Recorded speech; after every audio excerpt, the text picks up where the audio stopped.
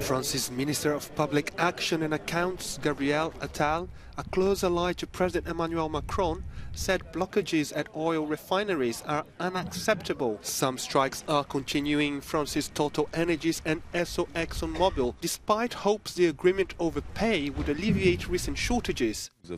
Once again, the objective is not to divide French people, to create tensions. The objective is now to gather French people around the same demand.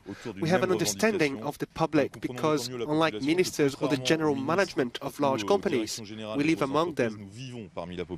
The CGT trade union rejected a wage increase. The union says it's holding out for a 10% increase in light of soaring inflation and windfall profits for energy companies.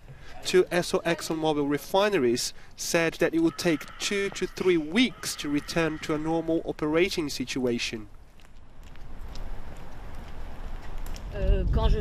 When I work a seven day week, then I need a full tank for sure every week. If I have a few days off, it can last up to 10 days. Now, I'm doing the bare minimum by car.